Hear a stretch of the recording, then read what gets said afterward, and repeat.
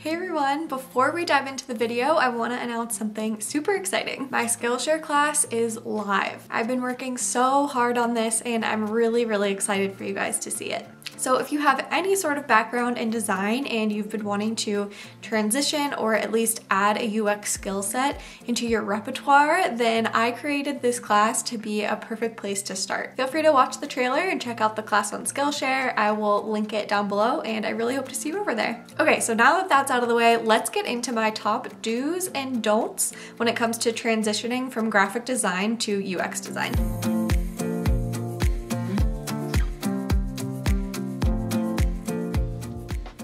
First is do notice how you interact with digital products. One really easy way to start training your brain to think like a UX designer is to become a critical user of all of the apps and websites that you use on a daily basis. Notice what's a really smooth experience versus a more clunky one. Notice if a particular type of pop-up really annoys you or if the word choice in some certain scenario makes you feel a little icky. Next, do learn Adobe XD. It's super intuitive and honestly really fun to use. Ever since I learned XD, I've abandoned a lot of my other design tools and I use XD for pretty much everything nowadays. I have a whole playlist of tutorials on my channel, but I've also learned a ton from Behance Live. It's completely free and they're always streaming and they have a backlog of tons and tons of XD streams as well. Next is do practice projects. In my opinion, learning by doing is the best and fastest way to learn. If you're someone who tends to just sort of read about design, watch videos about design,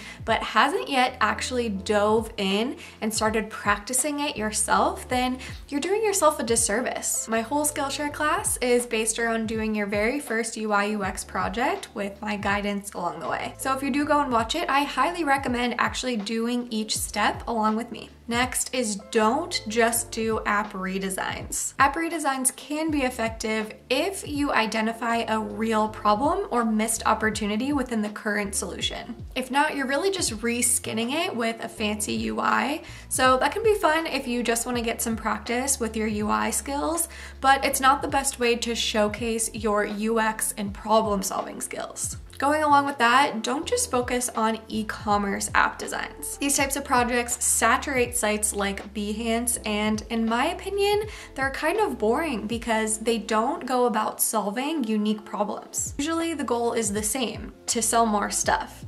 But even within those projects, 99% of them that I see don't even try to come up with a unique or interesting way to up conversion rates or sell more products. Next is do browse Behance for interesting case studies that you can learn from. Study how they tell the story, how they go about solving the problem, how they really capture your attention, and even technical things like how they use animation to really bring a product to life do get feedback from more senior designers. But a caveat here, don't do this until you have something that you're proud of that you want to show a lot of young designers or aspiring designers will reach out to people and just ask really, really broad questions like, how do I become a UX designer? Or what's the first step in becoming a UX designer? If you really want to transition into this field, it's going to take action on your part. Figure out what you can learn, start doing practice projects, and then reach out to those around you who might be able to offer advice and feedback on your work. When you do reach out for feedback, make sure sure you have specific questions ready to ask. A lot of students who come out of boot camps come out having learned the exact same process and it shows sometimes in portfolios.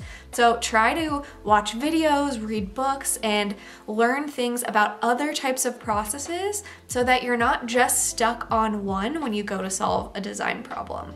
And lastly, don't be fooled into thinking that you need to go into debt in order to transition into UX. If you're already a graphic designer, then the transition is going to be easier than you think. I know it can feel overwhelming, but there are so many resources out there online that are there to help you. And if you take initiative, then you can make the switch. All right, friends, that is all that I have to share with you today. I really hope that this was helpful. If you have any questions about making this transition or if there are any specific videos you would like for me to make about this topic, please leave them down below in the comments and don't forget to check out my Skillshare class because I think that's a really good place to start. Thanks so much for watching and I'll see you next time. Bye!